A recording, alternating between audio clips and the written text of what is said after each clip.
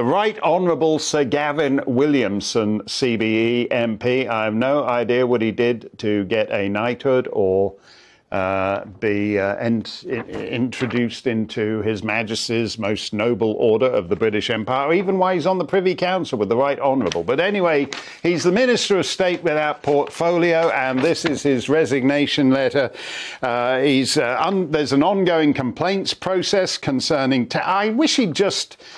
I'm complying with this process. Uh, I recognize these are becoming a distraction for a distraction for the good. So he's becoming a distraction. So I wish he'd just gone out like he came in and said, "Screw you, loser! I'm out of here."